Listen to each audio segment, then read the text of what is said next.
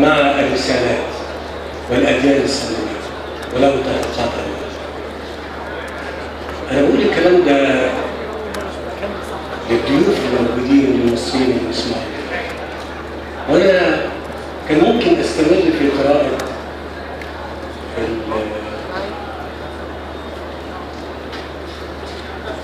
الخطاب الرسمي اللي هو المسجل دلوقتي بهذه اللحظة. لكن أنا لما بتكلم وبخرج عن السياق أنا بكلم الشعب المصري كل المصريين. مش مفكرين ومثقفين وعلماء فقط. أنا بكلم غالبية غالبية مواطنين مصر. ويمكن يختلف معايا كثيرين. أنت بتوجه كلامك لهم هم هم عندي لهم الأولوية الكامله للمصريين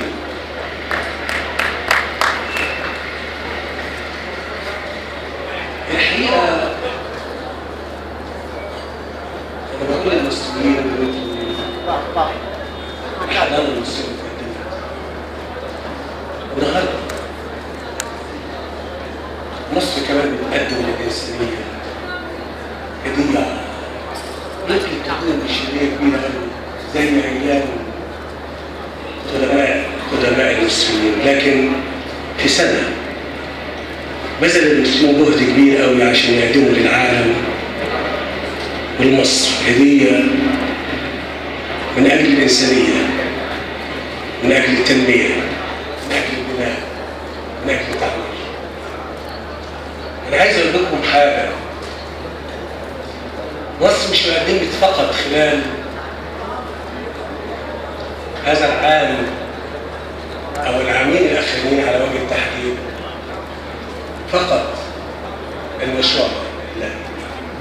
هيذكر التاريخ لمصر انها تصدت وجد أخطر فكر متطرف ارهابي لو تمكن من الأرض لحرق الأرض.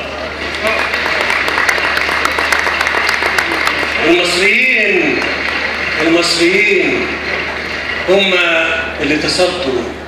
لهذا الفكر تصدوا له عشان يقولوا للإنسانية لا. يقدموا السماحة الحقيقية للإسلام والمسلمين.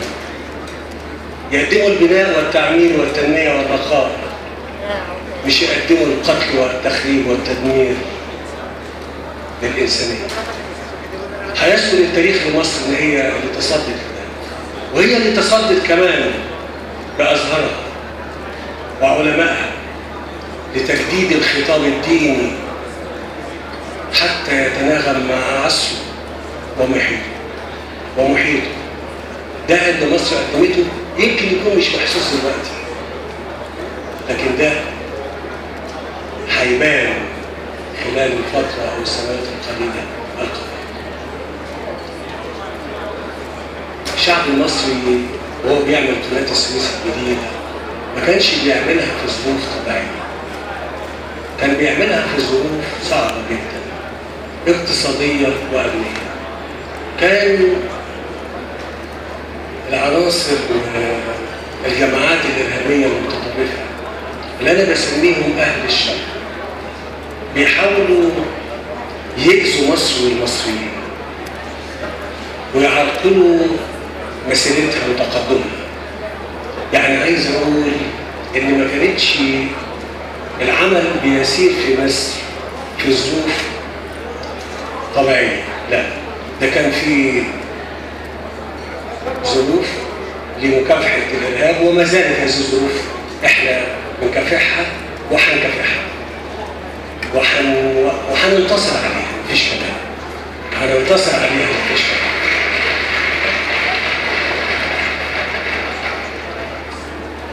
كان لازم نبقى متأكدين إن إحنا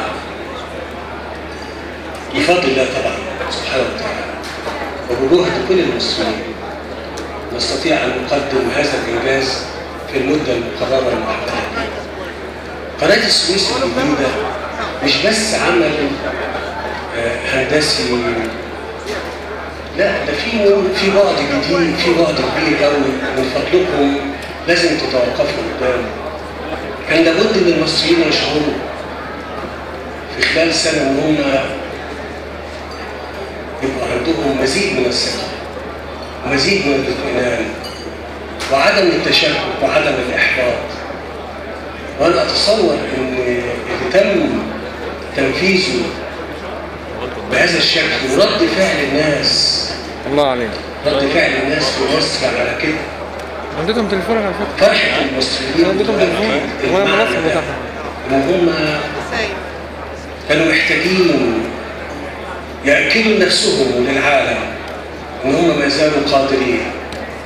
وأنا أتصور ان هم دي أول اول خطوة. القناة الجديدة أول خطوة من ألف خطوة. القناة الجديدة ألف خطوة واحدة. من ألف خطوة إحنا مطالبين يا مصريين إن إحنا نمشي. صحيح. خطوة من ألف خطوة. بس أنا عايز أقول لكم حاجة قبل ما أكمل خطابي ده. لا يمكن ابدا. ابدا هيستطيع أحد أن ينال من مصر ابدا. طول ما الشعب المصري كتلة واحدة وإيد واحدة.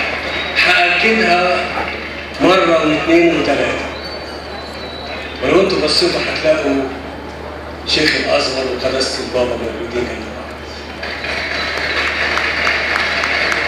لازم دايما نبقى إحنا كتلة واحدة. كتلة واحدة عشان نقدر نعرض التحدي اللي إحنا بنجمع وهننتصر فبقول هي خطوة من ألف خطوة. أنا مش هل... مش هتكلم على تفاصيل كتيرة خاصة بالقناة بعد اللي اتقال خلال الفترة اللي فاتت. لكن أنا عايز أقول لكم إن كل مصري كان مشارك في المشروع وحتى غير المصريين. من كل دول العالم. كانوا حريصين جدا جدا على إنجاز المهمه في التوقيت المحدد